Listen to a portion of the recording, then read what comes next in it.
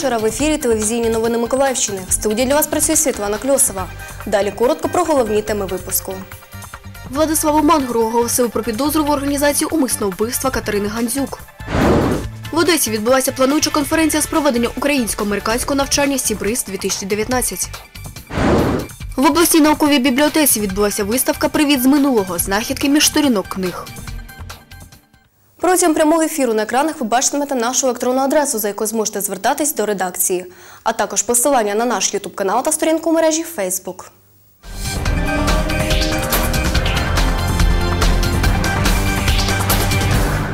Голові Херсонської Бовради Владиславу Мангору оголосили про підозру в організації умисного вбивства Катерини Гандзюк. Текст підозри виклав на своїй сторінці у Фейсбук генпрокурор Юрій Луценко.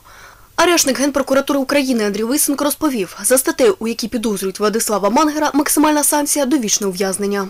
Це відбувалося за місцем його проживання. Він розписався в цьому. Там же за місцем проживання проводяться обшуки та інші слідчі дії. Для цього із Києва до Херсону виїхала спеціальна група процесуальних керівників із Генеральної прокуратури України, а також е, від Служби безпеки України. Після того, як будуть проведені всі слідчі дії і проведені обшуки необхідні, буде е, зроблено все, щоб доставити підозрюваного до Києва для обрання йому запобіжного заходу у виді тримання під вартою. Це буде відбуватися в Печерському районному суді міста Києва.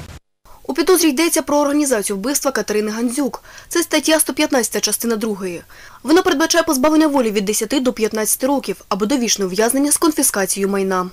Жодного відношення до того горя, яке сталося в Херсонській області, я не маю. На цьому крапка. Я думаю, і слідство, і суд побачить це, і про це я казав слідчим. Я е, нікуди не тікаю, я е, готовий співпрацювати зі слідством. Е, На, на, на даний час я взяв відпустку за свій рахунок. 28 січня батько Катерини Гандзюк Віктор Гандзюк на засіданні тимчасової слідчої комісії виступив із заявою.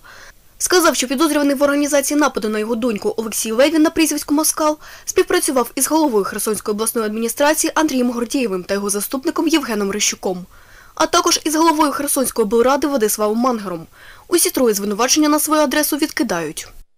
Слідкує за перебігом справи товариш Катерини Гандзюк, миколаївець Ілля Зелінський. Ми Слідкуємо за справою. З самого початку нападу на Катерину ми були учасниками безпосередніми всіх акцій протесту, які були е, в Херсоні.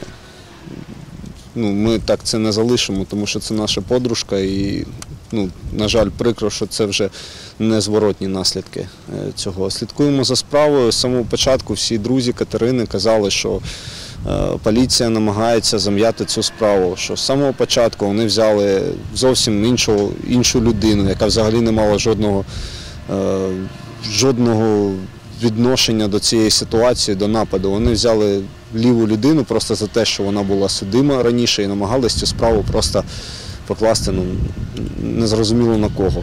Е, З самого початку активісти почали писати в соціальних мережах, що це не справжній, ну, не, справжній не замовник, не учасник замаху. Ну, і нам постійно всі кажуть, що ми провокуємо, що ми зриваємо слідство, але постійно чомусь так виходить, що як тільки актив на когось е, почне вказувати пальцем, нам кажуть, що провокатори і, так, і таке інше, а потім цій людині оголошують підозру, як от у випадку з Мангером. Нагадаємо, радницю Херсонського міського голови Катерину Гандзюк облили кислотою 31 липня 2018 року. З опіками 40% шкіри та ушкодженням очей її доправили на лікування в Київ і надали охорону. 4 листопада Катерина Гандзюк померла. Правоохоронці затримали п'ятьох людей. Серед них організатор, співучасники, виконавець і водій. Справу розслідують як умисне вбивство, вчинене з особливою жорстокістю. Друга плануюча конференція з проведення українсько-американського навчання «Сібриз-2019» розпочалася сьогодні в Одесі. Захід відбувся під керівництвом заступника командувача військово-морських сил Збройних сил України з бойової підготовки контрадмірала Олексія Неєшпапи. На заході побували наші колеги з телеканалу «Бриз» Юлія Пампуха та Олександра Портнова. Як передбачається, міжнародне навчання серії Сібриз відбудеться у північно-західній частині Чорного моря, в Одеській, Миколаївській та Херсонській областях. Їх головною перевагою буде масштабність та унікальний формат проведення. адже військовослужбовці українських військово-морських сил спільно з іноземними партнерами виконуватимуть усі завдання за стандартами НАТО у морі, на суходолі, у повітрі та під водою. Кожен Sea Breeze е, є наступним шагом. е, Перше. По-перше, Sea Breeze 19 років буде більше, ніж минулий. Це буде більша кількість учасників, більша кількість кораблів. В цьому навчанні відпрацьовувати декілька сценаріїв дій наших і наших партнерів е, як е, адекватних дій на дії Російської Федерації. Сценарій майбутніх навчань поки тримають у секреті. Однак їх головна мета точно визначена. Зважаючи на дії держави-агресора Російської Федерації, підготувати органи військового управління до самостійного і спільного керування масштабними операціями на морі, відпрацювати готовність управління силами за стандартами НАТО і взаємосумісність підрозділів та кораблів заради підтримання безпеки у Чорному морі. Буде ізюмінка, але ми будемо е, зразу не будемо відкривати цю невеличку таємницю, думаю, що пода- подальше ви будете про нього знати. До офіційного початку навчань організатори цьогорічного сібризу зустрінуться ще двічі для остаточного затвердження плану проведення міжнародних військових навчань і до опрацювання спільних документів щодо їх проведення.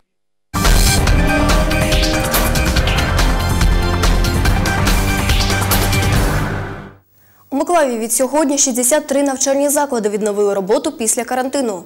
Про це повідомили в управлінні освіти міської ради. Станом на 11 лютого карантин продовжено у восьми школах. Вимушені канікули триватимуть до покращення ситуації, пов'язаної з захворюваністю на грип та гострі респіраторні вірусні інфекції. Стосовно відновлення навчання ще в трьох міських школах рішення буде прийнято найближчим часом. Нагадаємо, 29 січня у Миколаєві оголосили карантин у 14 школах. Щотижня їхня кількість збільшувалася. Транспортна комісія міськради Миколаєва рекомендувала заборонити рух великовантажних автомобілів Варварівським мостом. Ситуацію прокоментували заступник міського голови Юрій Степанець та речник патрульної поліції Віталій Душко. В 2017 году, как только мы У 2017 році, як тільки ми отримали висновок його непридатності до експлуатації або до обмеження експлуатації даного мосту, то ми виставили знаки обмеження 20 тонн. Знову ж повертаюся до того, що кожен повинен займатися своєю справою. У кожного є якісь повноваження, обов'язки і є права. На жаль, немає у міської влади прав перекрити повністю проїзди великих вантажів Варварівським мостом.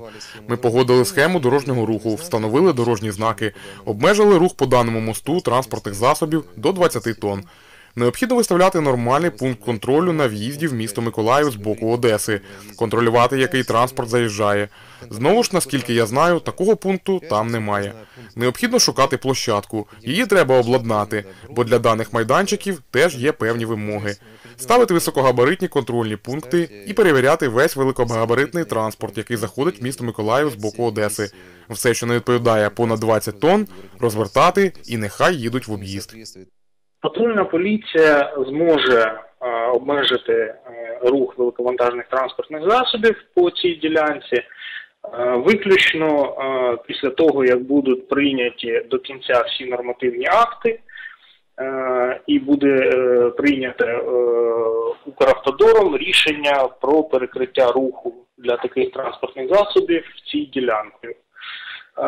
Тобто, щоб було щоб бу- були встановлені відповідні знаки, були проінформовані, коли будуть проінформовані е, всі перевізники, е, включая міжнародних перевізників, тому що це е, дорога всеукраїнського значення, міжнародного значення.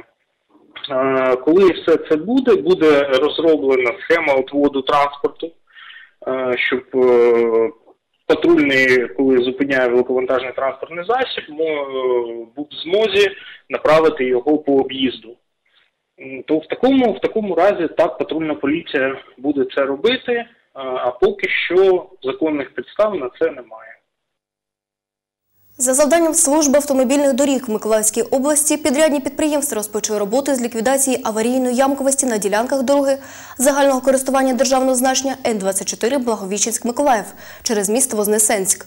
Роботи ведуться з використанням холодних асфальтобетонних сумішей на площі 3 тисячі квадратних метрів.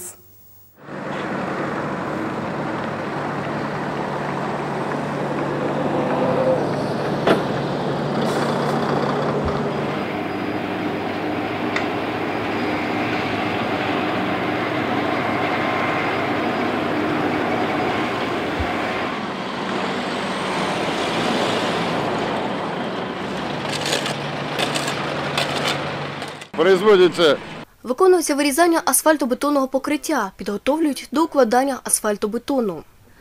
Це ділянка від переїзду, від кільця, скажімо, і закінчимо біля світлофору.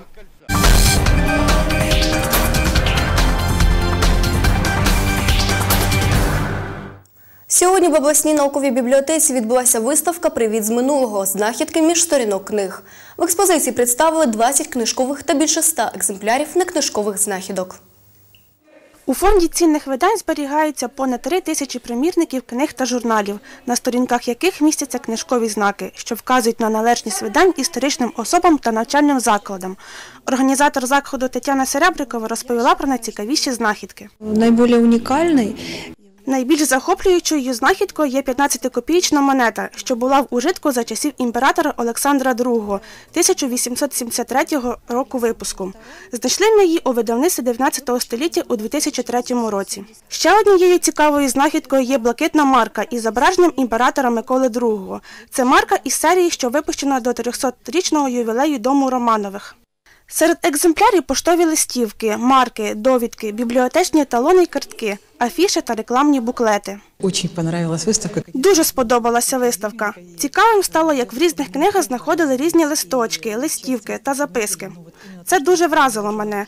Я і не думала, що цим займаються і цікавляться бібліотекарі. Ви знаєте, я також люблю сушити красиві листочки та квіточки в старих книгах, коли ми готували гербарій. Ще зі школи мене це залишилось. Виставку підготовлено до міжнародного дня дарування книг, який відбудеться 14 лютого, та буде експонуватися у відділі до кінця місяця. Діана Лекперова, Алла Тріпадуш, Юлія Кускова, телевізійні новини Миколаївщини. Миколаївський клуб Ніко Баскет цими вихідними зіграв чергові два матчі чемпіонату України серед команд вищої ліги.